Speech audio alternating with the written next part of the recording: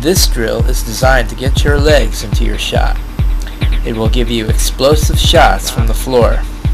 As in the first drill, make two shots, take one step back, then make two more consecutive shots, and so on. Concentrate on only moving your forearm and hands as you take a shot.